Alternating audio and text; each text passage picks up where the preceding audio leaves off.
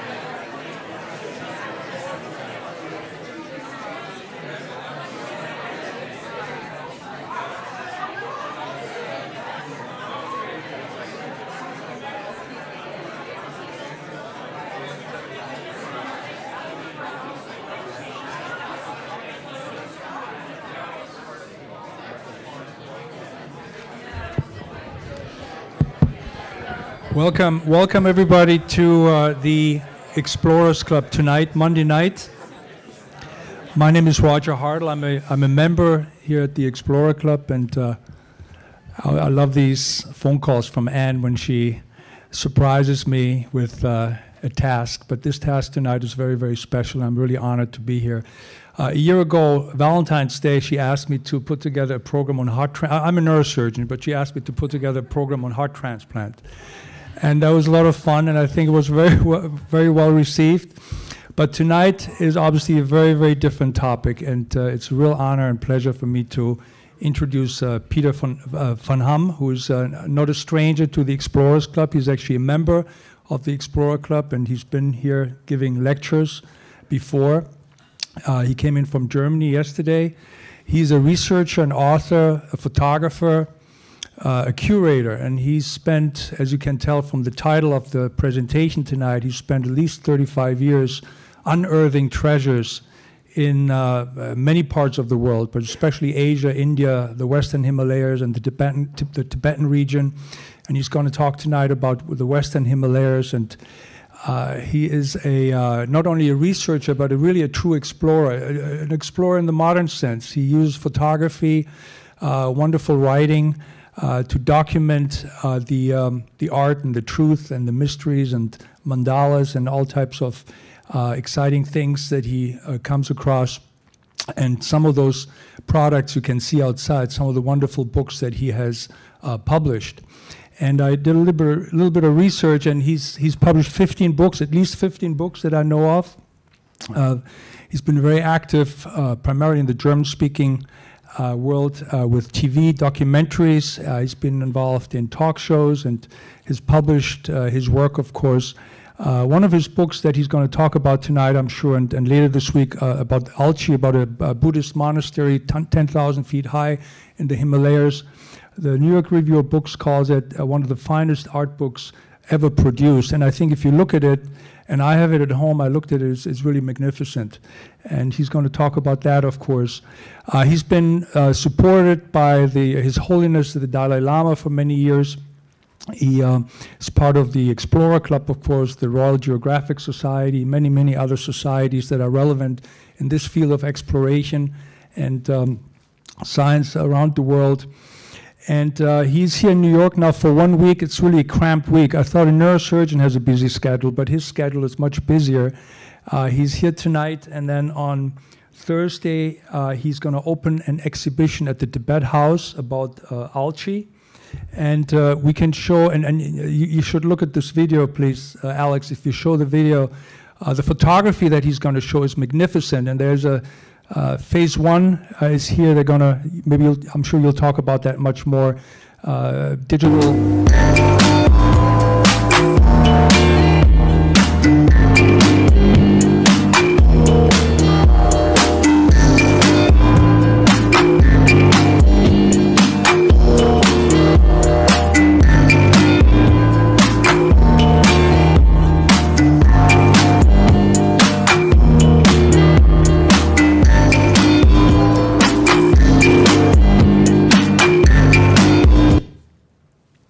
Quite magnificent. If you want to uh, want those at your home, uh, you can talk to him. I'm sure he can give you a special deal. Uh, and then on Friday, uh, he's doing a book signing with uh, uh, a book about mandalas, and that's going to be done with Matthew DeSantis, who's also a member of the Explorer Club. And I think they're going to have a conversation on Friday. And Saturday, there's actually a workshop with Phase One uh, about high altitude photography. So you have a very, very busy schedule. And, and not only that, but I, I hear that you're going to keep us busy tonight, so you better stretch out your legs. I think the talk is going to be more than an hour, maybe 90 minutes. So, so. Oh, good. All right. Uh, but I'm sure it's going to be fascinating. And uh, so, we, we, if we have time at the end, if we have time at the end, uh, there'll be some. Uh, there'll be time for question and answers, of course. Uh, and anything else I need to say? That's it. All right. So, uh, Peter, uh, what, we had dinner last night, and he's also a musician. He's a drummer.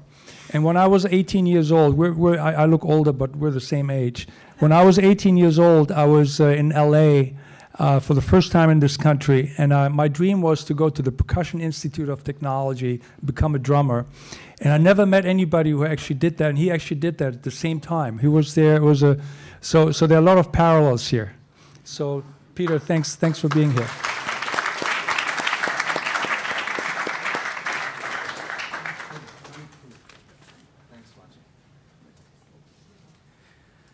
Thank you, Roger. Thank you very much, Anne, for introducing us, Roger and me, and uh, for the great introduction today. And um, it's again a great honor to be here and being supported by the Explorers Club because actually what you see here is part of the Explorers Club. Um, I got nominated to become a member or become a fellow because of the work there also my work on northeastern India um, that I've been presenting, I think, four years ago here. Um, before COVID, and we wanted to get this exhibition off the ground much earlier, but then we all were, you know, paused because of COVID. So now is the time, and I wanted to introduce you also to two gentlemen who are also here tonight from Phase One, uh, Paul Mecca and uh, Wayne. What's your last name again? Excuse me. Okay, you heard it, right? I didn't hear Wayne and Paul, right? Wayne and Paul are here tonight because it's for them that this exhibition that I hope you're going to uh, come to on Thursday or until the 3rd of July if you don't have time on Thursday is only because of this camera that you can see over here. And I feel really, really, really privileged to have worked with that. And I'm really thankful because I used to do analog photography before that. But with this one, one of those cameras is around with with, an, with the lenses that I used were around sixty thousand dollars. So I will never own that. But they gave it to me to use it in those uh, difficult circumstances that I'm going to talk about on Saturday. Um, so it was amazing to be using that, and I hope that we will have other projects together, and I'm sure we will. And you will see parts of it today, but why we showed you this small clip was because the speciality of this exhibition, it's not just a photo exhibition, it's actually we turned the Tibet house into that monastery because the way I photographed was it was all aligned, you know, all the paintings, all, all the walls were photographed one side by side, one photograph next to the other, so that in the end we would have a documentation that can be hung on any wall. And you know we had to make it tailor-made for, for, for the circumstances there. But the quality of this camera it has a it has a you know as i'm saying i don't own it. I will not get it. So i'm promoting it only because it's such a great technical achievement that is there. And it, the people are so great um, to work with. Um, it has a sensor for those of you who um, are versed in photography. Normal sensors of cameras have like 30 megapixels, and they produce, you know, prints 30 to 40 centimeters high. But this one has, the first one that I used had 100 megapixel, and that produces in a printing resolution that you have in books, 300 dpi, photographs which are one meter high and 75 meters wide or vice versa. And now they have come up with a sensor that's 150 megapixel. So what we could do in the Tibet house where the walls were 3.5 meters high, we just had to enlarge them two times, and then we had the walls there. So we, when people in photography magazines say, "Come on, this is not necessary. You don't need this resolution." Yeah, you do because on Saturday when you come to the workshop you will find out. Now we will start with the lecture. Thank you for coming and I hope you have a good evening and a good time. Thank you.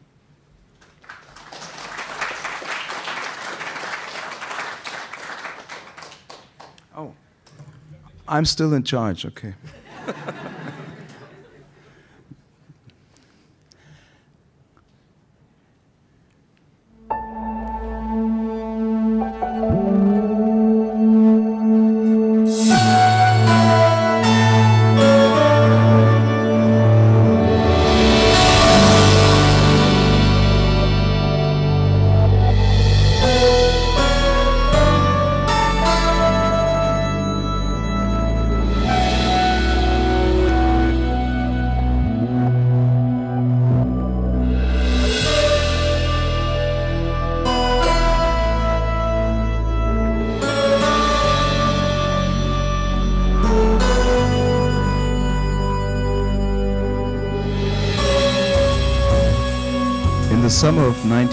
1987, I set out on a journey which was supposed or was about to change my life for the rest of my life.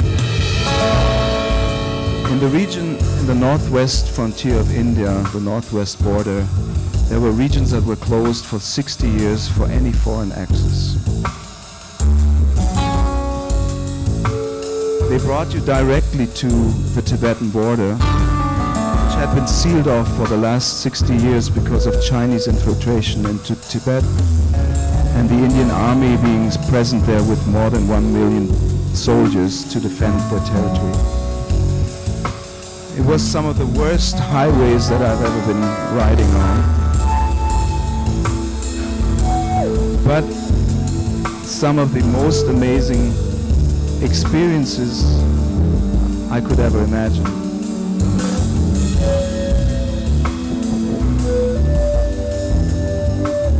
Around 30 journeys altogether now, but always with people who were admirably friendly, helpful, and proud of their cultural heritage.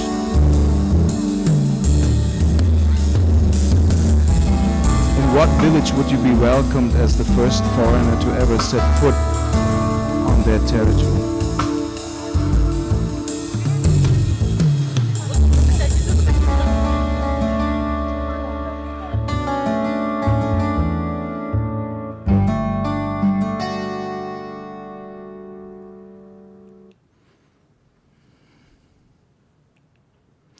Something is hidden.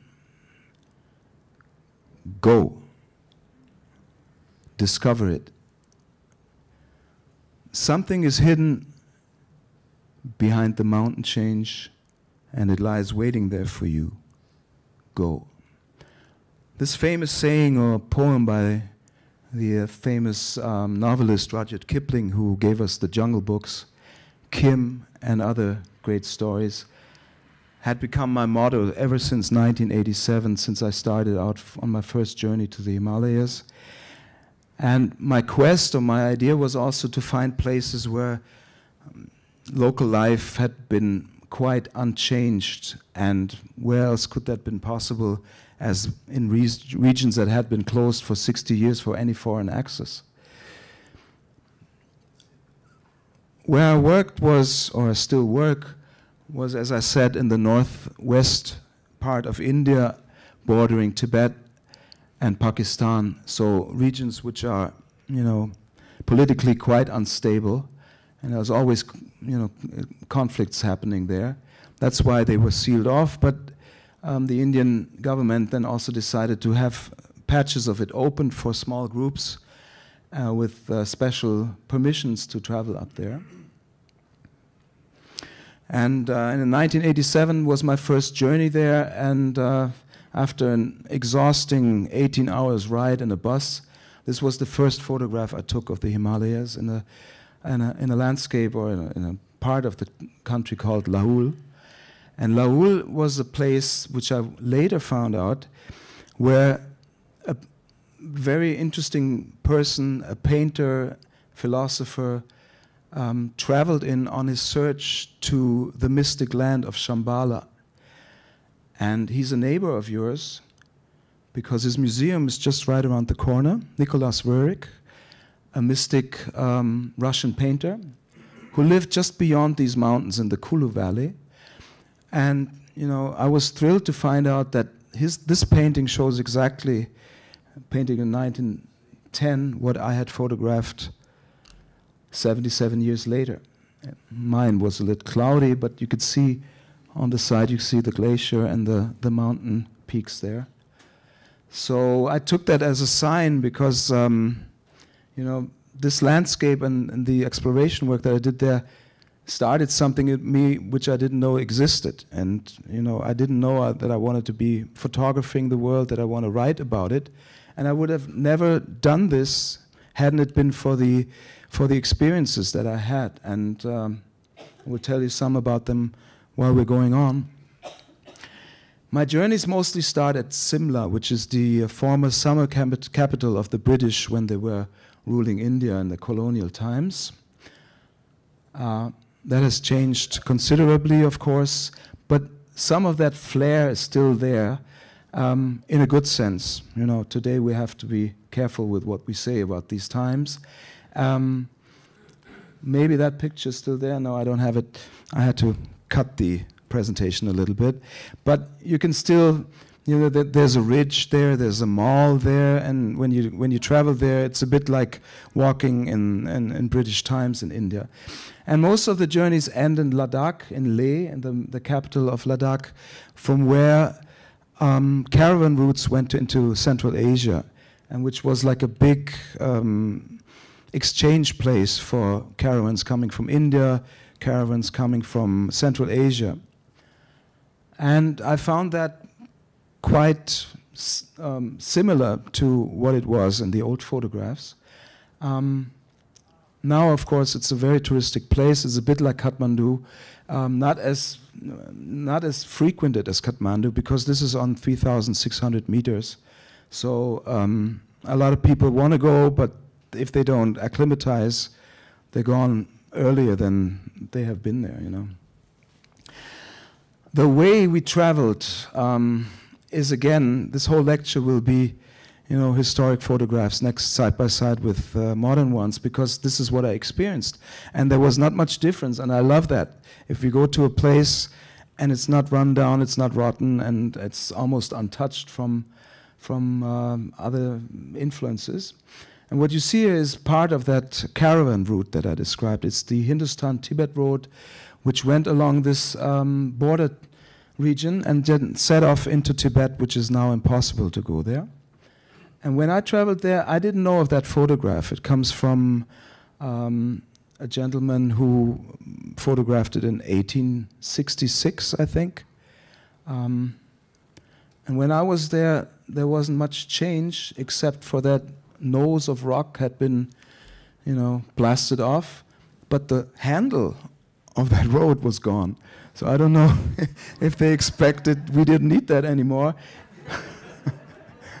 yeah, then now they come with jeeps. They don't need those handles anymore. but you must imagine that people, the, the, the, the, caravans and the carriers, they went on these routes uh, on foot to come uh, to bring whatever rice or whatever up to to uh, Central Asia. And the ridge is about 2,000 meters high. Uh, when you drop down, it takes a while till you reach the Sutlej Valley. Traveling was a bit different, I must admit, but not very much better. Sometimes I would have wished to have a horse instead of a jeep like that, which, you know, the profile of the wheels were almost like when you go swimming and you put this rubber thing around you when you can't swim.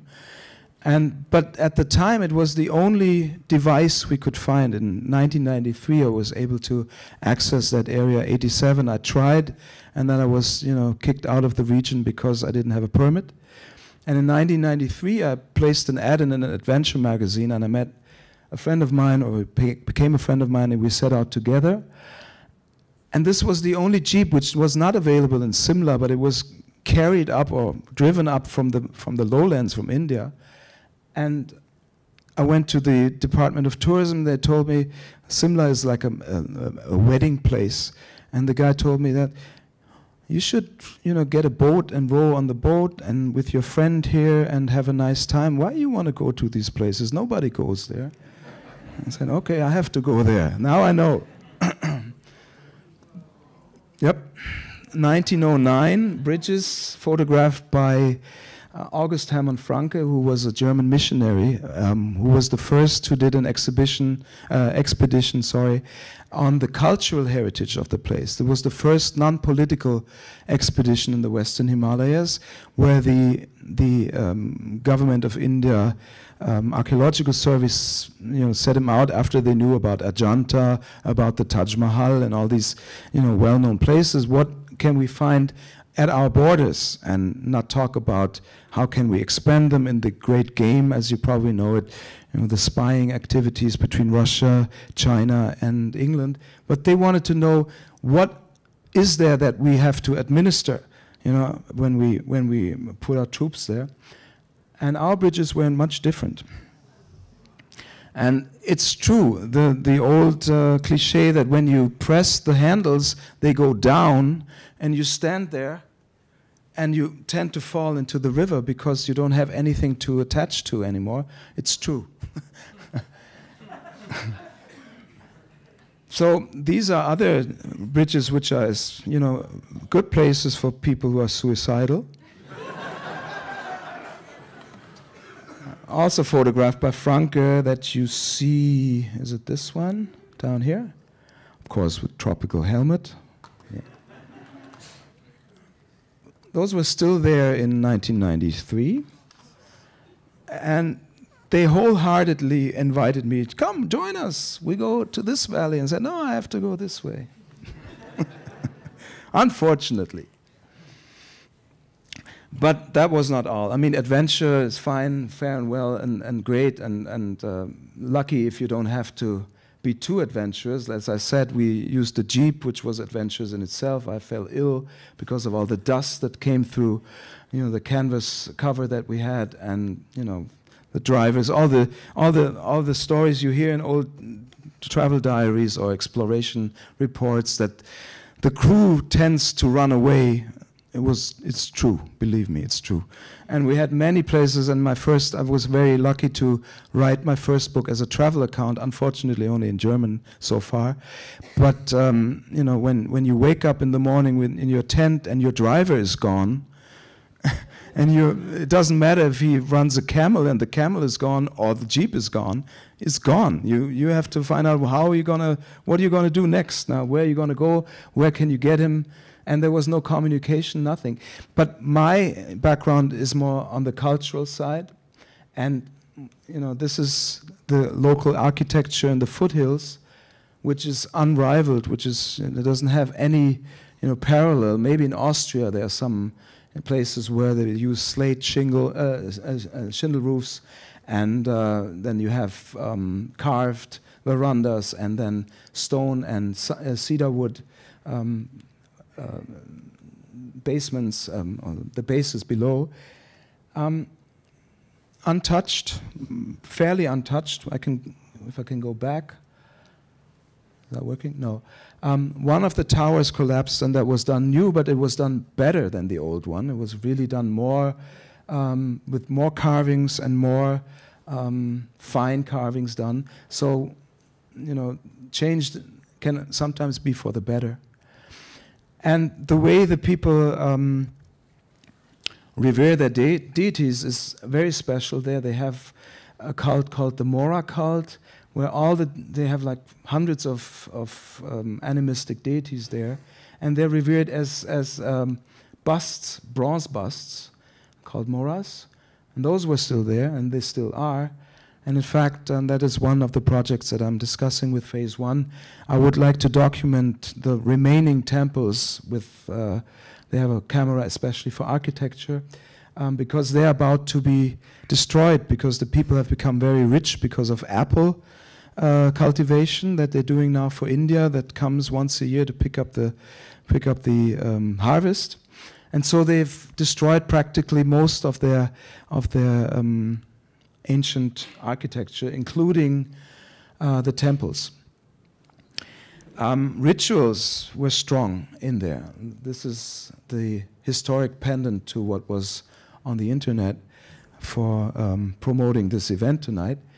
Um, we were, or I was among the first or the only ones to discover this ritual again. It was um, performed in Lhasa once a year for the New, New Year festivals. And um, I was there with a TV team in 1999, and we had the privilege to document that. And I will show you a short film clip of that now.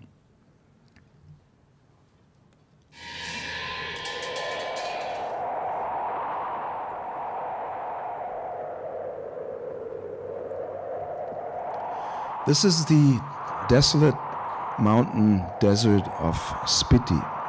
Spiti is a region which is right at the border to Tibet. It's called Middle Land, land between India and Tibet. Not only is the main valley desolate, but the side valleys are even more desolate.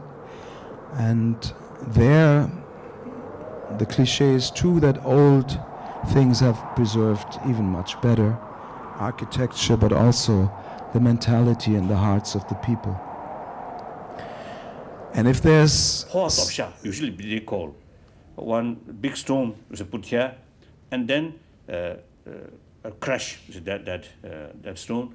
That is the uh, usually people who have some training of breathing control, control. I mean breathing control, and then so in order to show they are sort of their training, usually that kind of things happen, do. So uh, that I think part of uh, tantric practice. What His Holiness was referring to is that ritual that we see. When there's evil in the land, it has to be sent away. And the way that it's done, they take one big stone from a river and place it onto the chest of one of those tantric monks. And the evil is placed onto the stone, and then eventually the stone gets crashed with another stone. And first I thought this is like, okay, hocus pocus, as we say in German. But the amazing thing was, and then I will let you enjoy the ritual without my words, that when the stone was crashed, all the people looked in the same direction. I didn't see anything, but they did. So I was quite amazed. Maybe they said, let's look to the right side, but you never know. And it takes place with a lot of theatrical performance. And it's a play that actually comes from Bhutan, but was, you know, is lost there. And the, Buchen Lamas, they are minstrels that travel around the Himalayas and show it wherever there's something that they have to get rid of.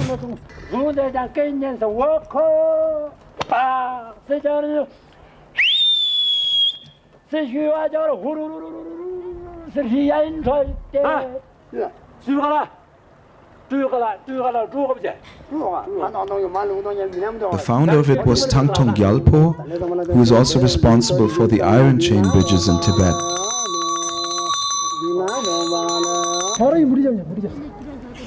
And they show the demons that they're strong and they put needles in their skins and needles through their mouth.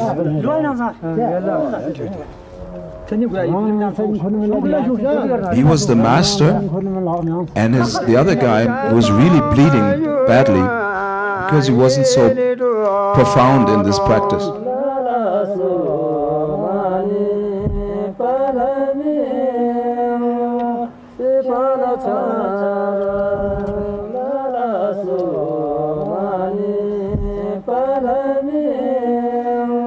Sometimes the demon even leaves when he sees the shaman or the tantric monk doing these things. Then come, then come the sabers.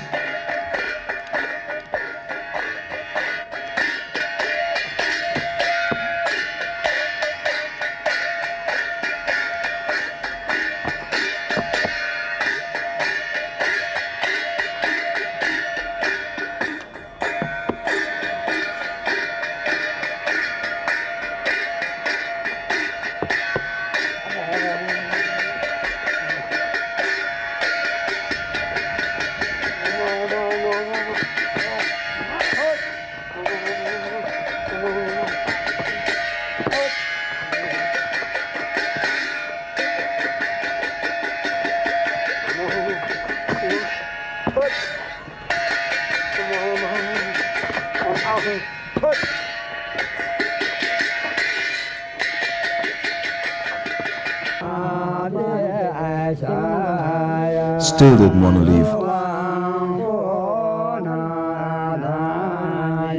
By then, they were in trance.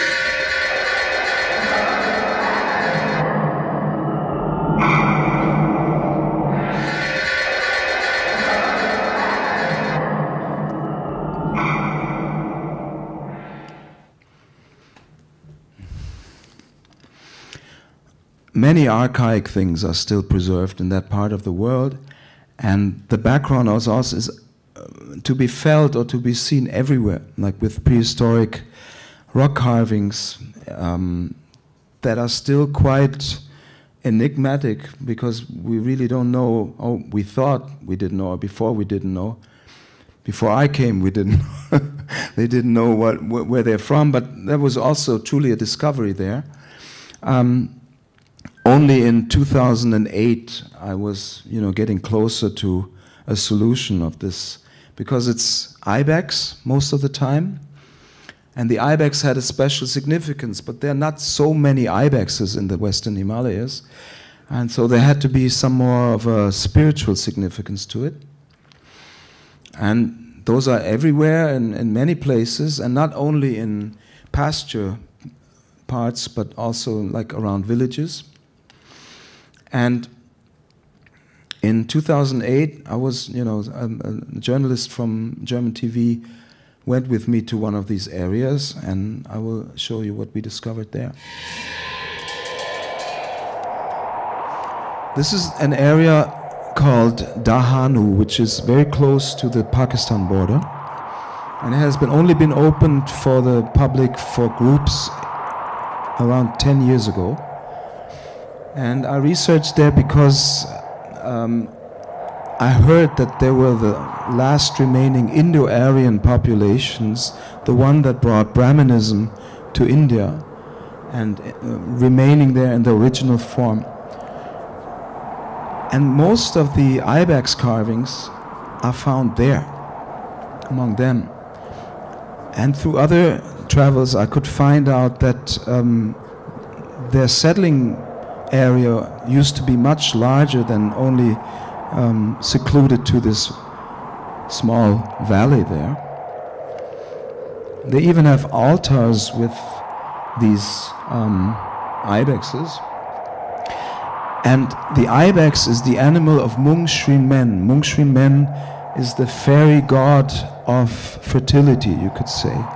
So every time somebody hunts an ibex, he, um, draws this or makes this carving and puts the horns on that um, altar. But it has to do with cleanliness, with what the Brahmin religion also in India taboos and you know you cannot be touched if you're a Brahmin by other parts of the of the society. But the amazing thing is those people don't look Indian or Tibetan at all. They look like Romanians, Bulgarians, people from the Caucasus, people from the Balkan. And we even saw people with green and blue eyes up there. You all know this famous photograph by Steve Curry of the Afghan woman. It's a bit like that. Now these are brown eyes, of course, but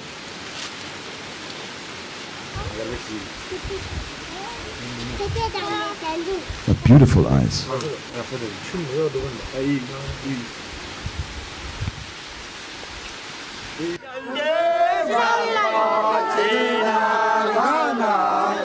What these people admire the most are flowers, because flowers are brought by the shepherds after the summer pastures are over from the high mountains, given to the women, and they have a strong significance.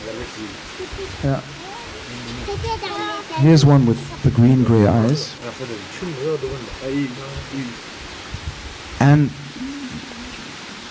the people are called Minaro, and they're still very mysterious. They have a different language and they have words which are Greek, French.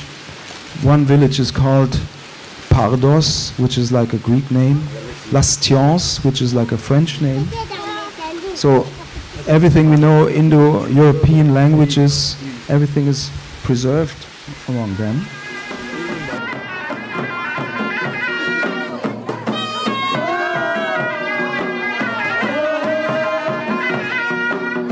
And in 2009, I made an ex expedition exhibition on these Western Himalayan regions, and we also included the Minaro with their wonderful dresses.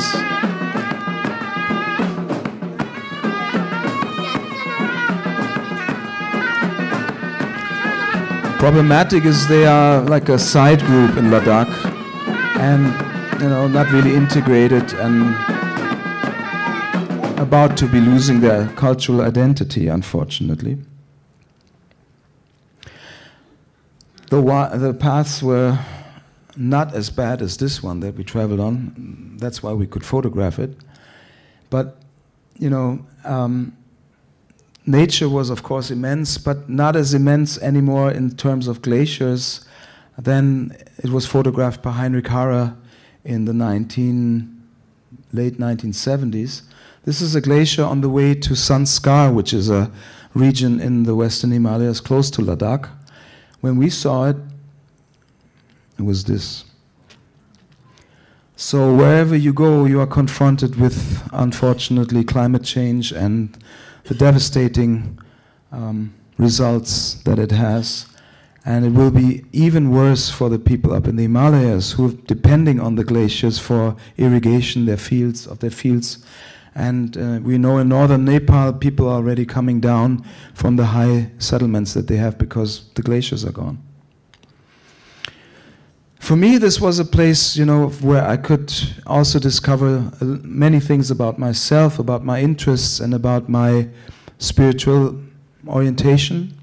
And this photograph to me was always the most intense and most revealing photograph of a person in search of something, looking for something that he might not know. Something is hidden behind the wall, behind the high mountains. And I loved it so much that we staged it around 60 years later. Um, we were there for a day, and in the evening we came and we saw the light was totally different. And then the next morning we staged it, and a dream come true. The monastery hadn't changed much, as hadn't much of the other places. This is Dankar, which is the former capital of the Spiti Valley, Spiti Kingdom. They had nonos, they were calling them uh, kings. Um, who came from West Tibet, and they had a Western Tibetan, or they have a Western Tibetan language, and our was just two two more jeeps being placed there. The rest was the same. Some monasteries had changed. They have huge monasteries there. The Key Monastery, for example, um, that after 1909 suffered an earthquake. Now still impressive, but all completely rebuilt. Um, the population generally is Buddhist up there in the in the high hills, and in fact, that region, Spiti region, was one of the uh, most Buddhist uh, region in the world. Not because they were so uh, intensely devoted to Buddhism, but there were so few people that the percentage of people being in clergy and monkhood was higher than in Tibet itself. It still is, and this is the favorite place of the Dalai Lama when he wants to retire. And also, this is another thing that happened to me. I don't know why, but it didn't happen to anybody else. These are the only film um, things of the monastery that he loves the most, where he's going to retire. At least that's what he said. And this is my dream, my spiritual dream, so to say, of that region, because it is a mandala which is three dimensional. You come into the main room of the monastery and you become the center of this mandala. And this is from the late 10th, early 11th century. So at that time already, it was clear that a mandala is not just a painting of a perfected world with gods and deities somewhere around, but it represents a psychogram of yourself and in which way you can evolve or maybe even reach enlightenment like that. So this is an old photograph of these um, sculptures that are placed on the wall Kashmiri style from the 11th century, very rare. When I came there, it was just in color, that's all. No difference. And here's the film. It's the Tabo Monastery, it's called.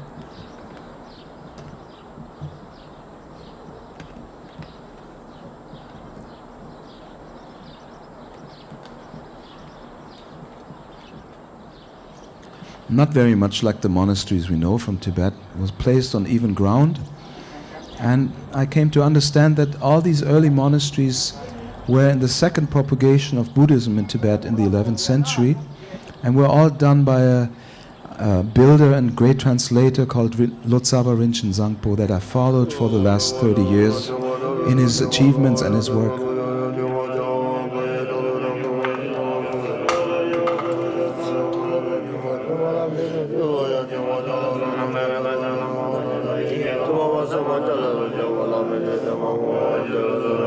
So it is believed that the aura of the figures is supposed to go down and help the monks in achieving their spiritual goals.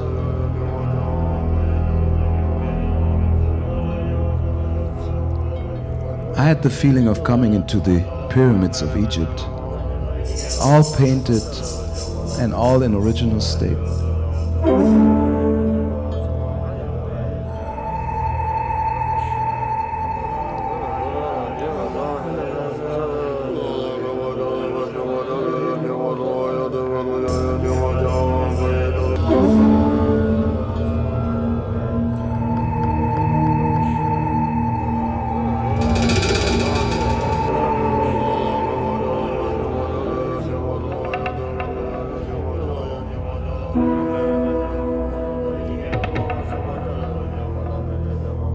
Story of Buddha and of sages as motivation for the monks painted underneath. below the statues.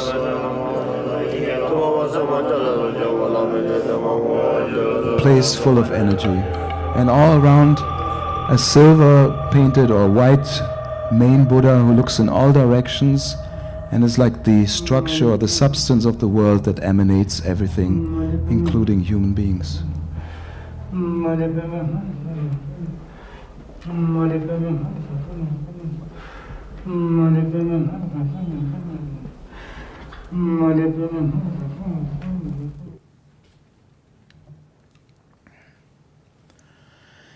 Um, I said it just now that I followed the footprints of Lotsawa Rinchen Zangpo in the 11th century because these are the only places where this kind of art is, has been still preserved.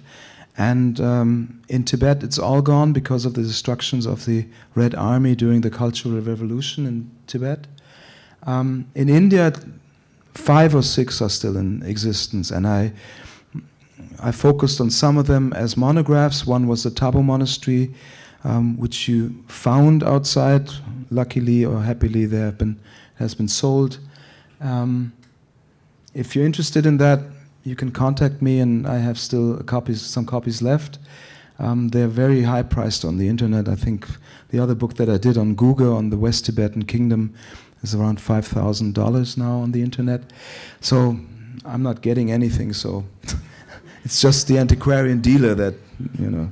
But it's very rare, and it was 3,000 copies was the edition, and now I don't know why, but that's the price, the going rate. Another discovery, really a discovery, was that I was, you know, lucky to discover the most ancient paintings of the Ladakh region um, that they had been seen before, but they could not be actually analyzed in terms of dating or when they were furnished. Uh, that was only possible because the other areas in the Western Himalayas recently had been open, and I had been traveling there and I had the comparison with the other uh, other. Those are not very good photographs, but they're eminently important out of art historic reasons, and they're similar to to uh, paintings which are found in a monastery where they are better preserved, not very good, but better preserved, and they um, directly go back, and you could uh, date it also from the historiography um, of West Tibet, of the activities of this great translator and, and uh, mount, uh, monastery builder Rinchen Zangpo. Like style-wise, you, could, you can see the way the hair is done, you can see the crowns, you can see the way um, the outlines, the shading is done, the eye form, and uh, we could estimate that these paintings were done 1042, so 50 years earlier than uh, what you will later see as the Alchi monastery. Another identification point was the Ushnisha, which is the, the, the top of the head, which is only in old Rinchen Zangpo monastery that it has like three antennas on top, even more. And um, we discovered a manuscript from the 11th century in a, in a town with a wonderful name called Pu. Um, I left that out for tonight, but uh, that is also in the Guge book, which has also been sold just now. Another thing that led to my latest things was um, latest documentation was to find a monastery that is very close to the Alchi monastery that was also done in the late early uh, 11th century by the same person who founded Alchi. And the amazing thing was that it has fantastic artworks that had never been documented before, although people were traveling to Ladakh since 1974. And I was always wondering that that is one of my um, things in life. I was always, why don't we have books about that? Why is nobody doing that? And I wait for like five or six years, and then I set out and do it myself. Um, because it's it's really important to do this kind of work, this documentation work, because that monastery was supposed to be renovated by a by an initiative in India that is you know known for architectural renovation, but they forgot to put a cover on the wall, and then the roof collapsed, and all the dirt and all the soot and all the straw went onto the to the paintings, and those paintings are gone now. They're not in existence anymore. And I said, this is like what the Buddhists say about human ignorance. It's really terrible. And um, luckily, Alchi is still there. That's why we did the project, and um, we hope that eventually we will, you know, create more awareness, especially among the people themselves in Alchi and the monasteries, that this is something very, very special and unique that you don't find anywhere in the world anymore, besides those five monasteries, that something must be done to preserve them. Mandalas, which are like six meters high and, and feature hundreds of deities and historic paintings, which are you know unique because they show Tibetan kings in cross-cultural uh, um, cultural cross-dressing, as they call it. They wear dress from other people of the empire that they ruled um, as a sign of respect, but also of you know uh, sovereignty over them. And you can find influences from Iran, from Central Asia, up until Greece in these paintings, which were all coming from the Silk Road via, you know, being preserved in cultural memory from Alexander the Great, who was, you know, the last thing he achieved that was, you know, in Pakistan and Afghanistan. He um, established the Gandhara kingdom where Buddhist art for the first time was shown in figural form. Before that, the Buddha was not shown like that. So you practically, you, most of you will know these heraldic, heraldic lions that are around. That is like in our medieval times. These are Sogdian, Sasanian uh, symbols that we have also in in um, Western um, culture. So this for for the end for tonight because of the time. This is the Alchi Monastery. This is what the great exhibition at Tibet House will be about. It's again like the Tabo Monastery, placed in the valley. It's not on a monolith mountain. At that time, the monks were still dependent on the society around them to support them. And again, it's a treasure trove of amazing art that is uh, unavailable in that quality. This is like the best Tibetan art you can find in the world, has, um, uh, threw it out, I think, has uh, six temples, and three are from the 11th century. And there you can see the Greek influence. It's like Greek pillars with uh, um, the Ionian capitals. Then it has an architrave. It has the the, the uh, threefold um, pillars up there, and it has even the teeth decoration that you find on Greek temples. And there are no wooden temples surviving in Greece, but we have a lot of stone temples, so they can be, you know, um, compared with that. So the only remaining Greek wooden temple is in the Himalayas. and when you enter, you have three main monumental colossal st statues, which are 4.6 meters high and um, they represent wisdom and compassion as the main principles of Buddhism. And the third one in the middle between them will be the one who has unified wisdom and compassion and will be the next Buddha that comes, the enlightened being that has you know, maximized that and has completely understood the two principles and lives them. The Maitreya statue then in the middle and they are so high that, first of all, I thought, oh, you see that later, they, their, their heads peek out into the second floor. But the great thing is that the paintings on their dhotis, their, their sarongs or their, their, their trousers, so to say, they have been painted with miniature paintings.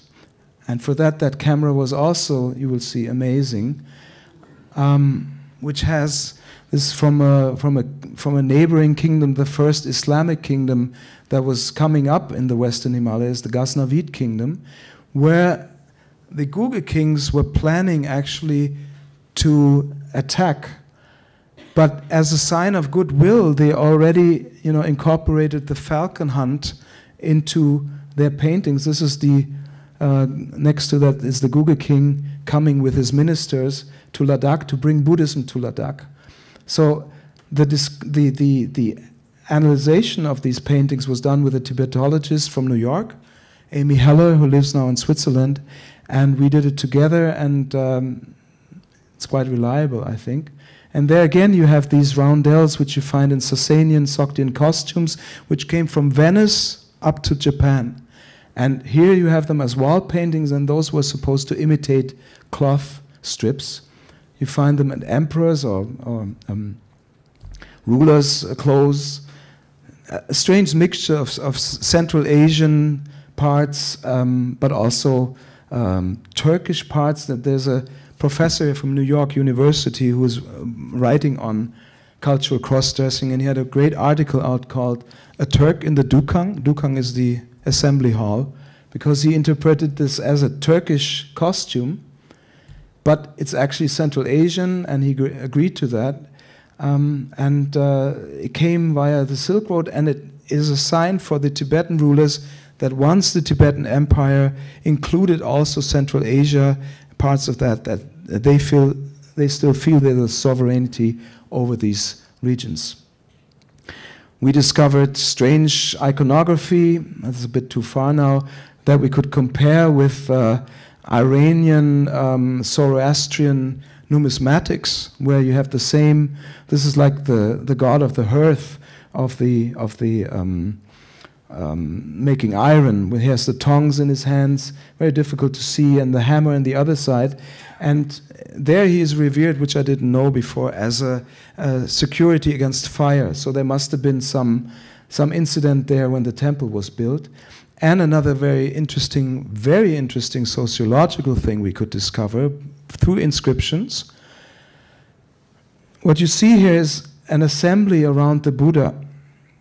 And you have side by side male and female figures who are dressed alike. And those are bodhisattvas. Bodhisattvas are beings that are supposed to be enlightened.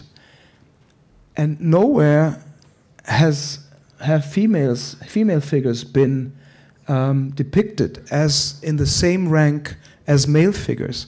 There's a long discussion in Buddhism if female have the same status in terms of religious, uh, religion and you know finding um, as a Buddhist nun getting the same, uh, being able to take the same vows, and that way finding the same amount or the same degree of an enlightenment.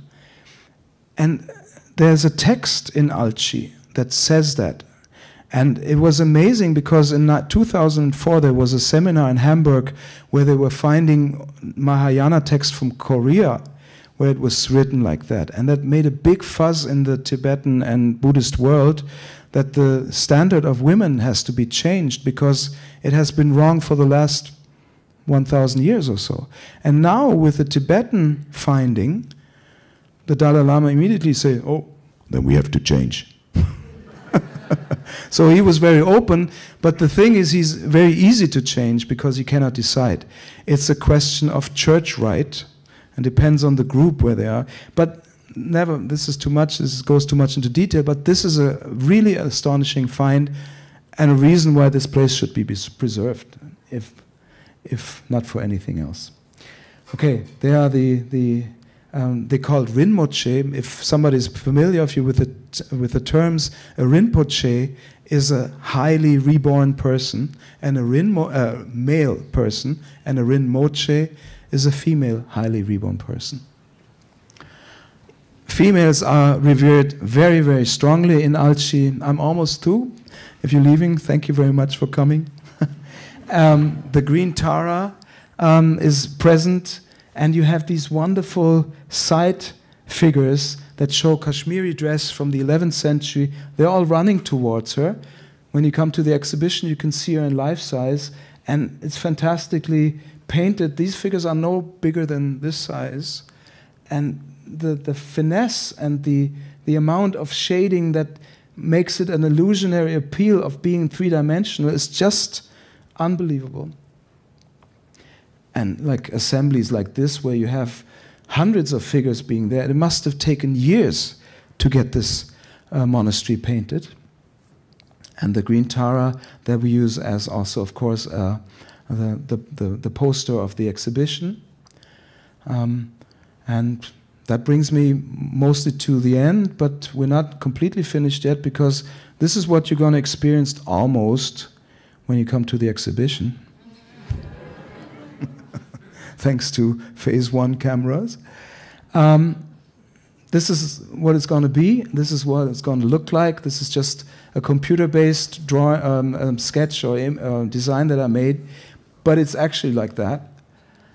Um, it's opening on Thursday at six. I was told, not six thirty, but we'll be there longer. So um, on Saturday is the workshop where you will have more time to experience those cameras yourself if you're interested in photography. Uh, Wayne and Paul are here today. You can have a quick look later when we're over um, at the um, at the cameras. Those are the ones. FNV was the other company that I was working with with the amazing lights, the LED lights that they make.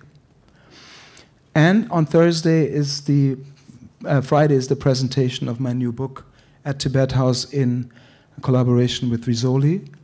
Um, also at six, it's on mandala in search of enlightenment. It's on um, sacred geometry in the spiritual arts of the world.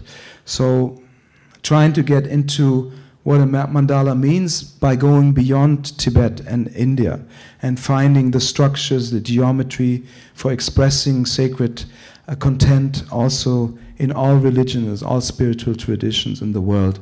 Because if there's something that you cannot talk about, you come to the symbolic level. So this is a thing that real quickly uh, stated that unites us human beings everywhere in the world.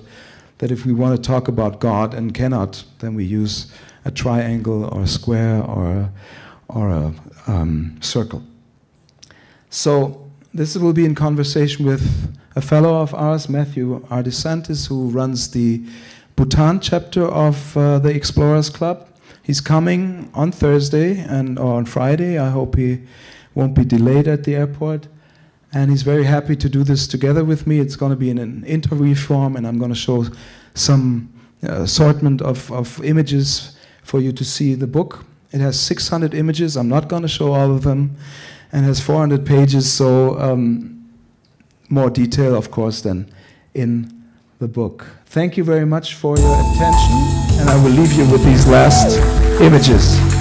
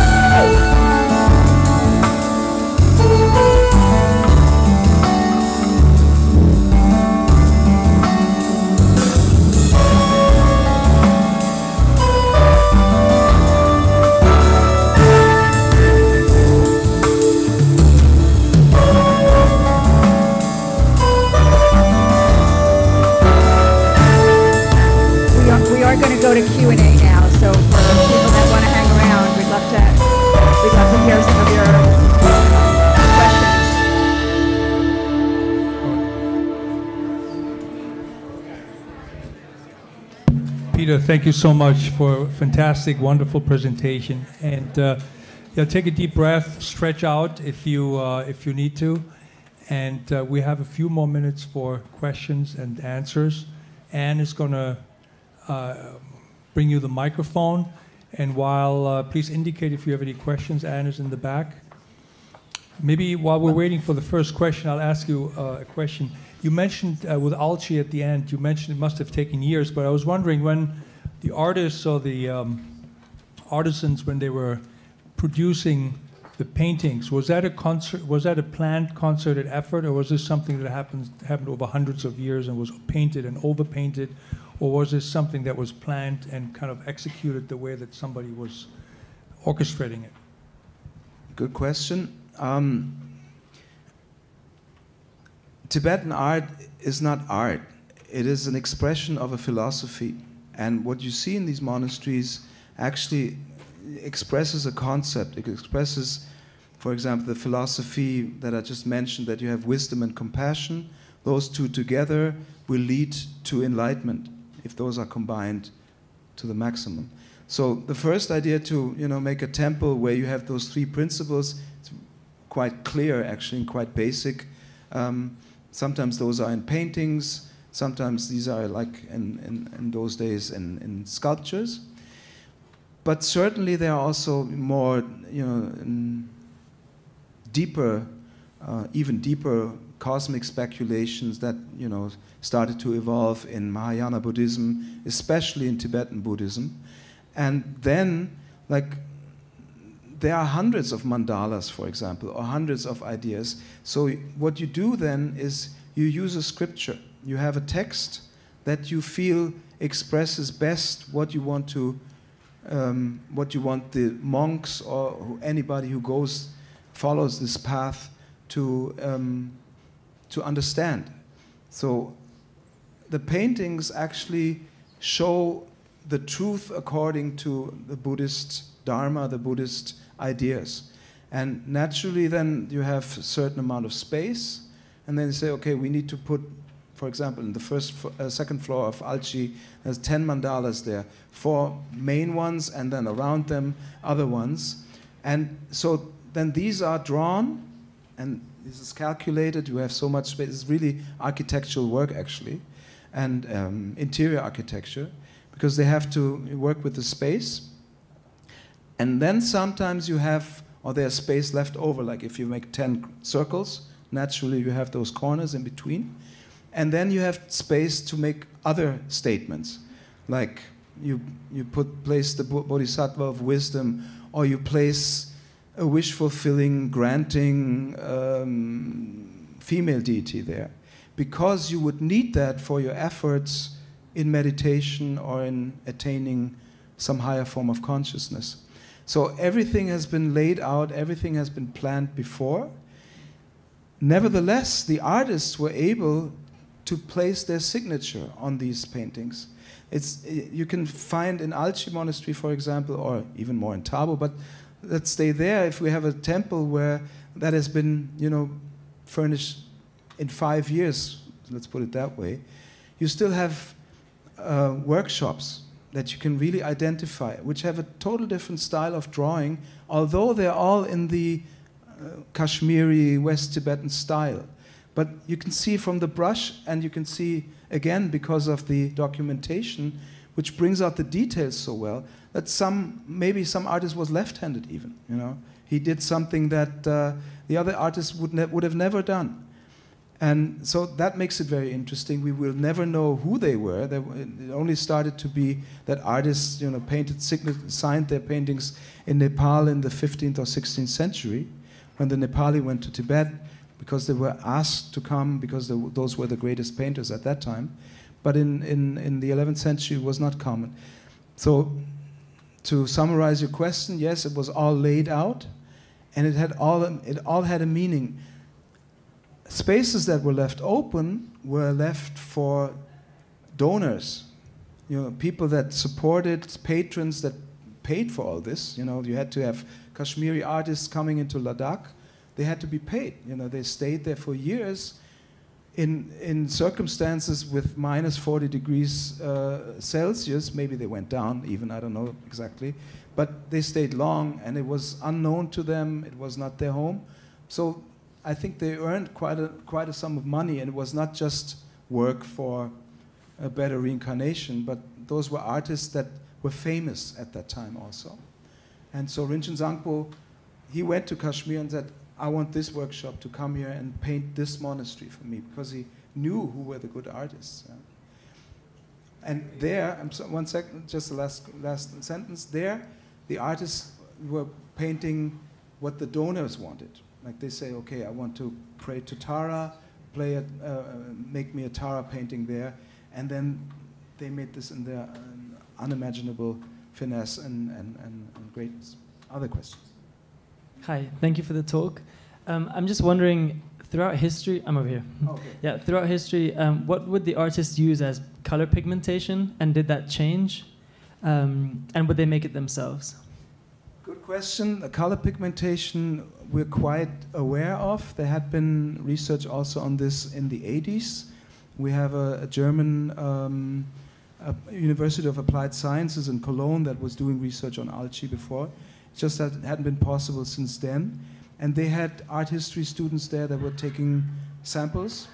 And we know that, for example, the blue is um, turquoise from Afghanistan. So most of the paintings or most of the pigments used were really also the very expensive ones. And I, I just have it in mind that it's turquoise, it's, um, wie heißt das ganz dunkelblaue Stein? I'm happy I can speak German with him. What's the name of the very dark blue? Exactly, lapis was there. Yeah, that's true. And uh, they do, and even you know, maybe on some of the other um, paintings you saw that there were there was um, lead placed on pastiglia, it's called in, in art history, lead that was uh, placed around the the mandalas, the compartments of the mandalas, and this would, um, had uh, gold pigments on it. So that's why some of these monasteries were also, like in Egypt, I said in one of the films, it felt like coming to Egypt to a pyramid. Some of these were hacked out because the people that you know destroyed them thought it was real gold. You know, so they really had the feeling they wanted to show the beauty and the of, of the wisdom that they had discovered because it was, as I said, the second propagation of Buddhism. So everything was done in a very, very, very intense way. And yeah, of lapis I know, and of turquoise I know, and that of course made it very expensive to do these temples, and that's why Alchi, and there was a discussion about that, who made the temple, a Turk in the Dukhang, was it Central Asian people coming there, invading Ladakh and going back? Doesn't make sense. It's the West Tibetan kings, and, and another discovery in our research was Amy Heller found out that she could actually identify a name of a minister from whom we know at what time he lived. So the, the um, declaration of the dating is actually quite secure now to the end of the 11th century. Right over here. Um, so I'm just curious, when you were speaking about being at that ceremony and you expressed uh, skepticism about everybody looked to the right at some point, but I don't know if that was choreographed. Obviously, spending all these years kind of immersed in this stuff, how have you sort of balanced that more agnostic, scholarly approach versus being caught up in the spiritualism? Very good question. Thank you. Um, I see myself as a um, an, as an observer. I don't judge anything. You know, I'm, I've come to travel. I mean, even more among the Naga people. If, you, if anybody of you was here um, when I did my lecture on headhunting in Northeast India, you cannot be more than an observer. And I think you, you owe it to the people that uh, that you are privileged to be with that you're not supposed to judge. You know, you, you um, if we think about headhunting, it's so far for us, but when you try to get deep into what it actually means, and the same with this ritual there, um, I can simply accept what I saw, and I believe in what I saw. I'm, I'm not taking it as uh, as truth per se because I didn't see it. You know, I didn't see anything, uh, you know, lifting off from that stone. But for them, it's it's right. For them, it's the truth, and this is what matters because the people were relieved that the evil in their in their valley was gone. They could believe, and that could make them heal. You know, sometimes it's the belief in healing that makes us heal, and the symptoms will be gone because oh, we have the remedy now, placebo effect, as we would say. But I would think it would be arrogant if if I were anybody would would start. It's just that as an ethnographer, which I see myself also not just an art history uh, documentation guy, it's observing and keep it like that. So now that we know that you're a musician as well, um, do you ever use the universal language of music um, along with these people that you're working with? Well, um, first of all, I observe that too. Um, when I'm, I'm there, I'm you know going attend the service, so to say, which is always with music. But the monks get together and with their drums and their cymbals and their um, and there are trumpets and all these things. Um, I find that music so so attractive. You know, um, it's sometimes difficult for me to um, leave my personal ears at home. Although meditation music, of course, tends to be just one chord and very, oh, very deep and like that. Um, I heard some different percussion in there. Do you ever jam with them? I did actually, and uh, in Ladakh there was a wedding, and, and in weddings they hire musicians, and as a drummer, of course, there are drums and there's shawms, so old uh, kind of trumpet-like or flute-like instruments that they play. And the one guy invited me, and he heard that I was drumming too. And I tried to play it in that style that he did, and the way they hold their drumsticks is completely different. They go like this. And then, no, we, we have either the, the traditional grip, which is like that, or we have both of our sticks like that. But they went this way. And so when I started to use my Western grip, I got the first look.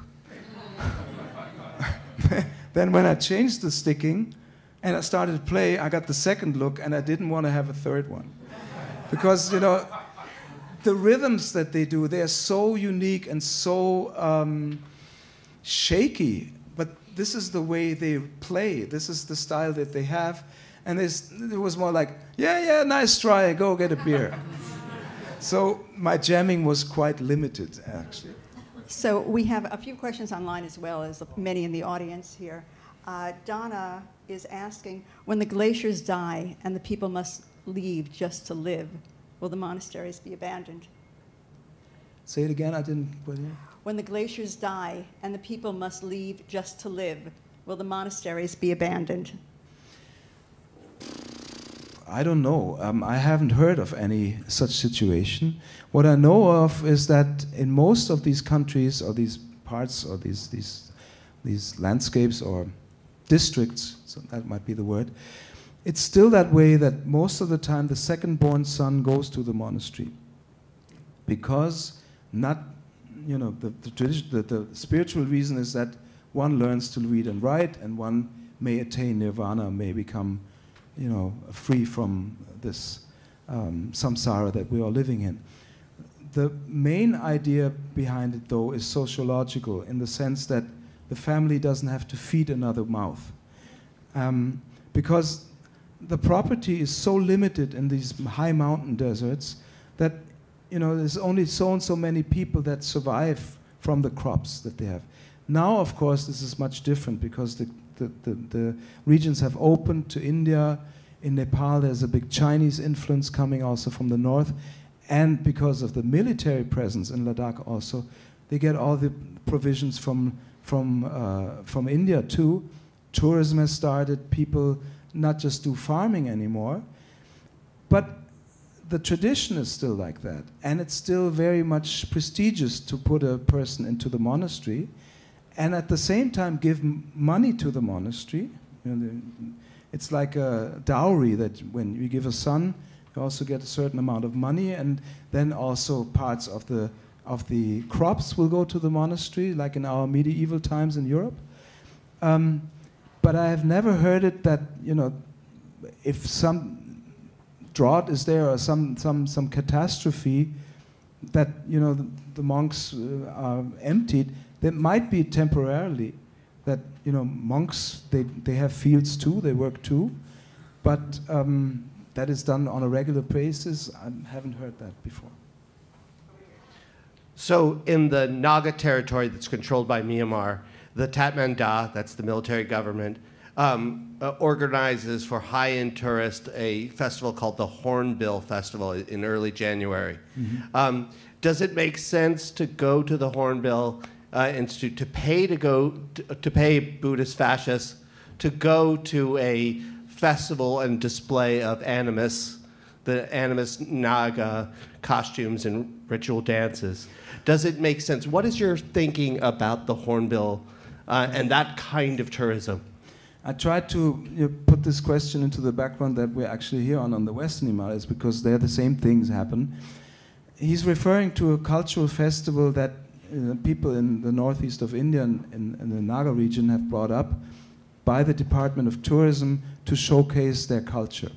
And that's practically what it is, and that is done in Ladakh also for the tourists, that has been done in Bali for 50 years, that is done it everywhere where you have a certain group that has a certain tradition, that has certain um, dresses that they want to display, and why people actually go there. I mean, this is, uh, we go because something is exotic, and we wouldn't go if it was the same that we had at home.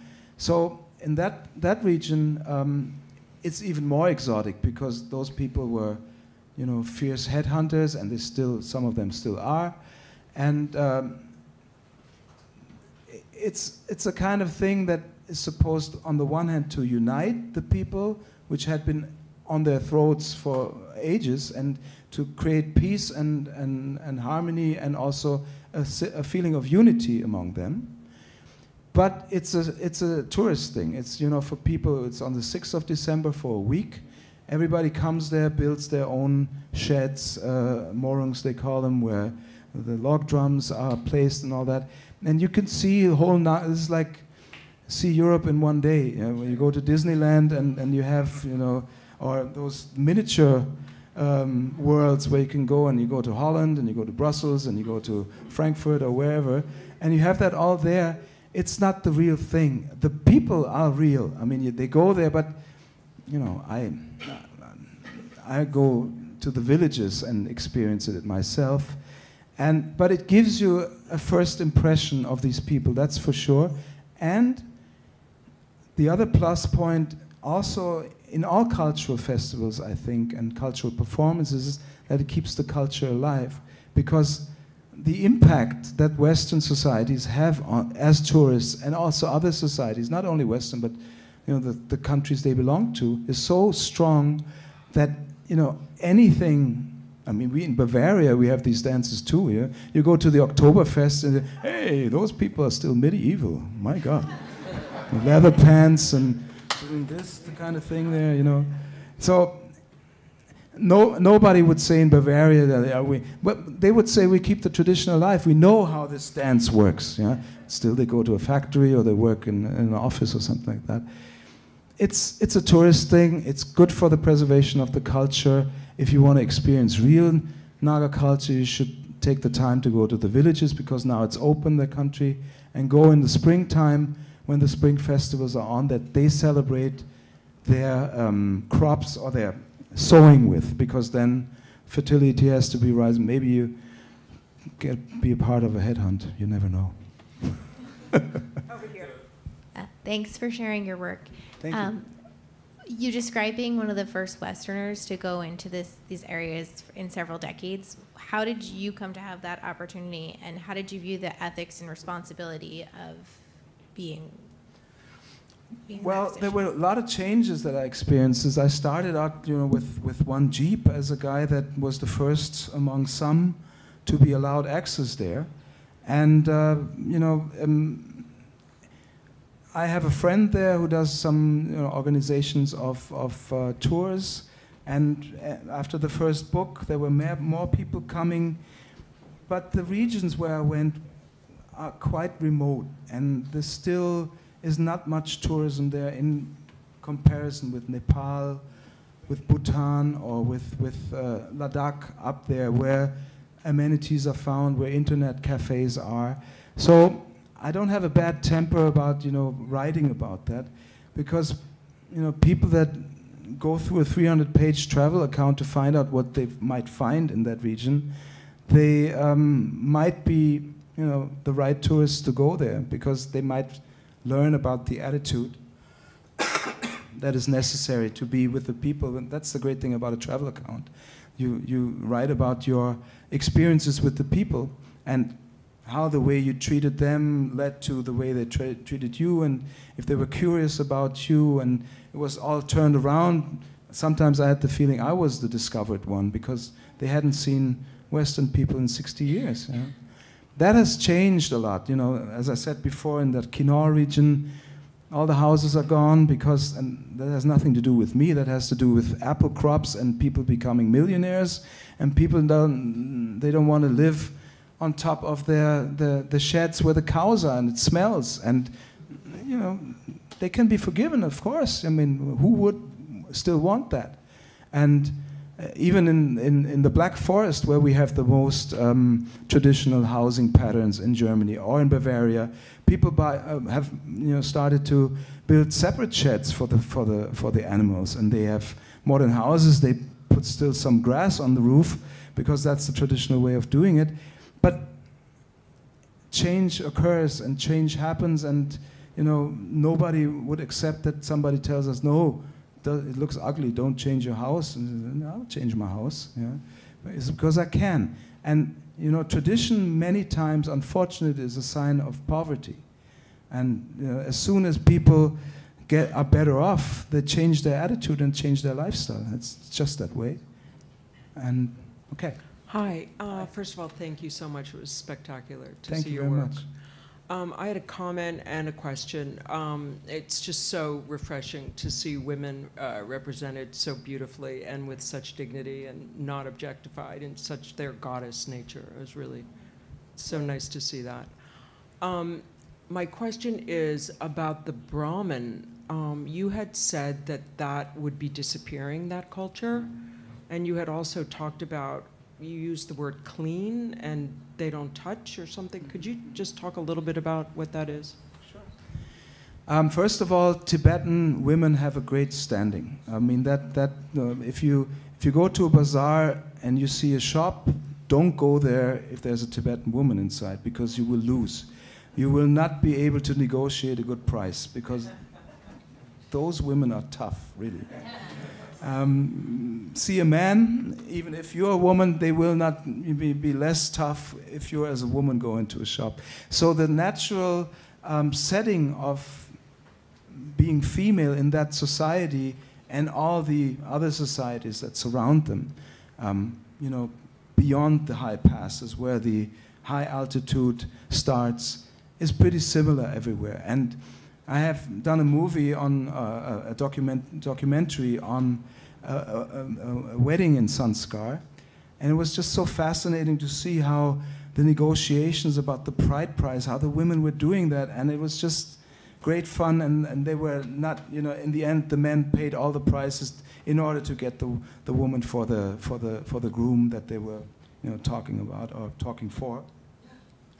Um, that certainly is the mentality, and that is the, uh, the background for everything how women are represented there. And that also is the background why they have been represented as bodhisattvas there. You know, that, that makes absolute sense. Why should you deny uh, a woman something which, you know, if they're stronger than you, you, you know, it was done in our monks' societies in, in the medieval times, and the women, you know, they, they, they, were, they were taking it, but the Tibetans, women would never take that. And it has changed. The nuns have a very bad standing now. I don't know what happened then. It must have been in the 15th, 16th century when Tibetan Buddhism was very much united that they made like, like a Pope edict. I don't know what Dalai Lama that was at the time to say, okay, this is now. Females are not supposed to be enlightened. Regarding your other question, um, the Brahmin culture is highly um, centered on ritualism the Brahmins were the ones who um, introduced a unified form of religion in India. And they placed themselves on the top of that. It had to do with power and with division of power. And the Brahmins were the ones, somehow, they united with the kings, as is typical, and then started to spread their religion, their idea.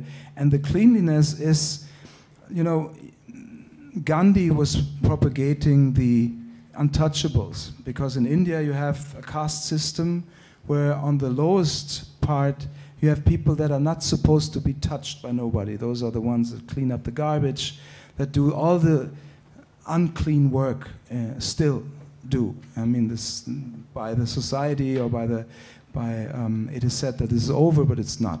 It's still there, and the the idea is that an Aryan movement came from Central Asia.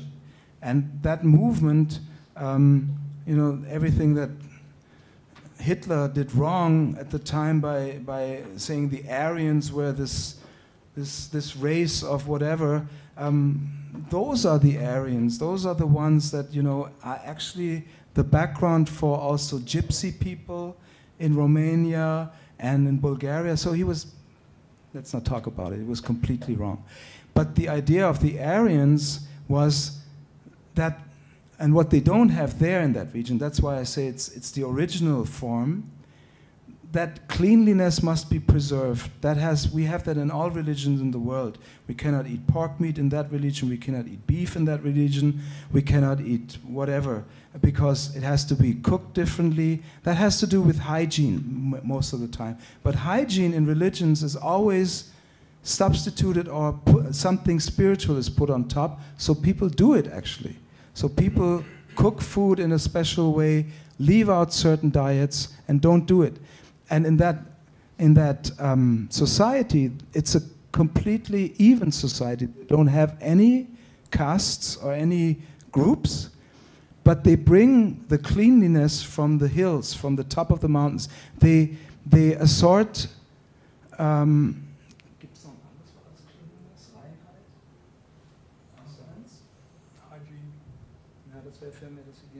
So let's leave it at cleanliness. The cleanliness is at the glaciers, at the White Mountains. And this is where the, the, the shepherds actually go with the, with the flock. And from there, in the, in, in the fall, they bring the flowers.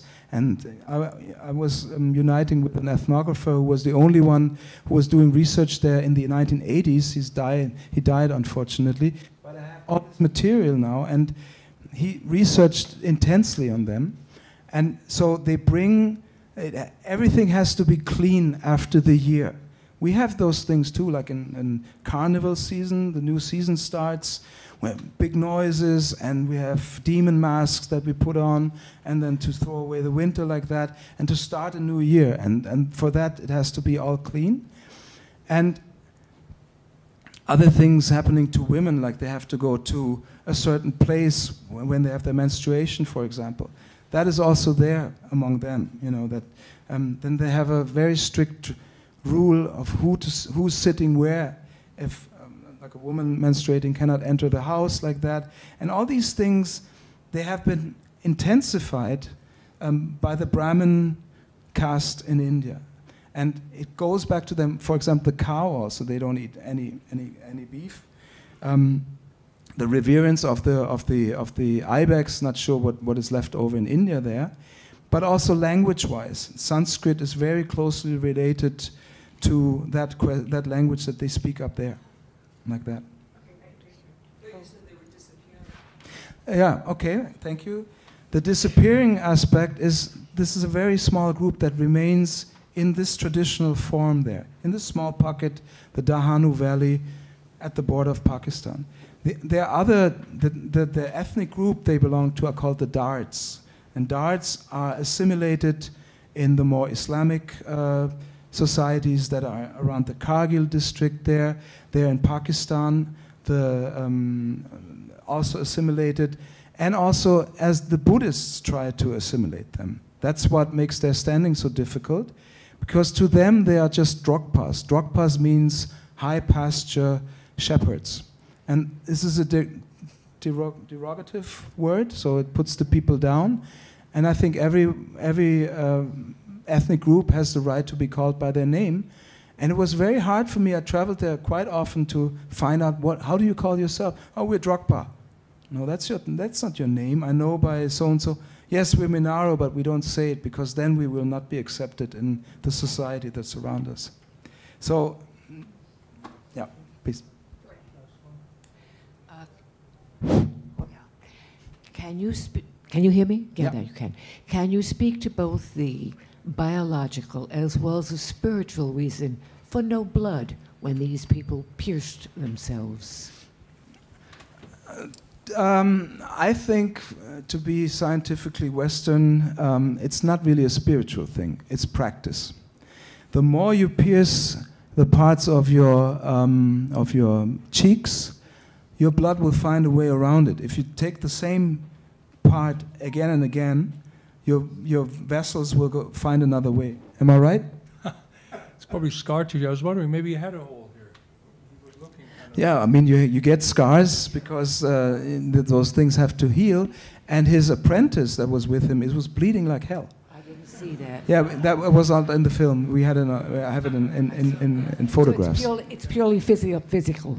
It could be, you know, you have those fakirs and you have those things that people have body control. And His Holiness was talking about it. They said they have breathing control.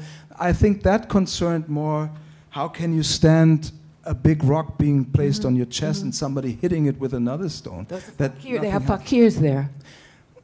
That Uh-huh. is the same practice. You know, fakirs is the name for it in, in, in India when people stand for 30 years on one leg like that and they don't give up. I mean, you have to develop some certain uh, amount of spiritual strength in order to, to do that. You had a big cushion there. though. That, yeah, that cushion was awesome. And, and I asked them, but the cushion was more because of um, a little bit to you know, prevent the shock of going there. And but the the, the stone, I mean, the, the, you, you saw the pressure that was put on there. Yeah, maybe there's a modern fakirs. Thank you. We have, uh, and how much more? One more question? Or? Two more questions? Thank you again. This was outstanding. Thank you. You've spent 35 years traveling to these very strange and exotic places. What was the biggest challenge you encountered in that whole period? Mm, I'd say cold and diet. like one of the hardest things that I did, although I must say during that time it was more the diet thing, because when you do this kind of work, or at least I experienced it that way, you start to get into some extraordinary um, kind of consciousness. We call it a flow state, where you actually don't know what you're actually doing anymore, or you're not conscious about it. You know, I really had many times the feeling when I was working so close, I was privileged to work so close with what I had desired for such a long time to do. I really started to feel one with the image that I was photographing. I was, you know, running up ladders for 10 hours a day, fixing stands and, and not caring about that. Only like afterwards uh, did I find out how much extra um, skin I generated, how much, you know, weight I lost. You know, some, most of the time I have to go back there again, by the way. I'm losing about six kg in, in four weeks, so it's a good diet for people to do this kind of work. Um, but diet is something that you really, I mean, when you go to these remote places, what people uh, eat there, now it's of course different. They have Indian food coming up, so it's quite good. But they used to live off tsamba, which is um, barley roasted and then placed into buttered and salted tea. That was the main diet of people in those valleys and in Tibet because it provided them with all the protein and all the necessities that they needed for this eight months of winter with minus degree, minus 30 degrees Celsius. And, but that in the morning, lunch, and dinner, all the time. And the only vitamins they had were some, some apricots they were, you know, um, harvesting and drying for the winter. And it was one of the few times that I really was not very nice and hospitable when we were chatting with, with people doing harvest. Eh, we'll have some butter tea. And yeah, thank you very much. It was very good, you know. And then, you know, giving it back to Mother Earth so that the soil will become fertile again. Because it was just very hard to take. And some people in, in the old travel accounts or ex- expedition reports, they say, think of it as a chicken soup. I, I, especially when the butter had become, you know, not yellow but blue, and they, you know, did the tea with that, then it was like, okay, thank you. So we, we do have some people online, and I'm just going to go to one of them. Barry O'Reilly is asking After the partition of India, did any of the monasteries end up in Pakistan? And if so, have they survived? Monasteries didn't end up in Pakistan, but um, castles were. Uh, before this was, a, um, Ladakh was um, had a much wider um, range.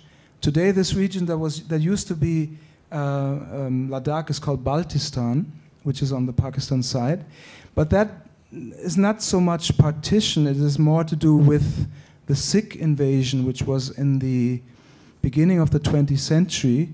Uh, I'm sorry, around the end of the 19th century, and at that time, the the Tibetan kings of Ladakh were already put aside, and the palace in Leh that you saw that is you know, deteriorated, that was from the time there. And at that time, because the Sikhs at the time, there were um, um, Muslim Sikhs, some of the rulers in Ladakh went to them, and, and because they were Muslims themselves already. And that now, because of the separation, has made it completely uh, Pakistan terrain. But it was not that they were forced to be in Pakistan because and, and they were Buddhists and so they didn't feel at home. It's more the question Kashmir is a bit more complicated because they have a lot of Hindu population also in Ka Kashmir, which makes the separation into a Pakistan part and a and a, um, Hindustan or Indian part more difficult than the region up there. So before I hand it back over to Roger, I want to thank you um, for everything tonight, but especially for bringing a very special woman along with you. And we became a family during COVID, especially an online family. And I want to bring Jenny Wilke up here, who's always online with us. Um, Jenny always has the best questions, and we're meeting each other for the first time in four years yes, today. Um, Jenny's from Mauritius and also Princeton, New Jersey, and if it wasn't for you, she wouldn't be here tonight. So thank you so thank very you very much. Okay. Did you have any questions? And she's a friend too because she's an editor at Princeton University Press, and she edited for free my last book on mandalas. So um, that's true friendship, I must say. Really. And she's supporting my work also since many years. So thank you, Jenny, for everything you do. Peter, I can hear you. You're losing your voice, so we better.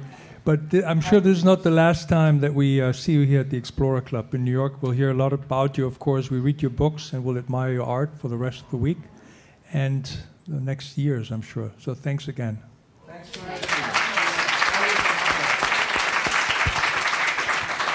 And please take your time, have a look at the cameras. This is like a once in a lifetime thing. It was for me. Hopefully, it will be twice in a lifetime, three times in a lifetime. We'll discuss that. They're amazing. It's just wonderful that they are here. Thank you for coming also.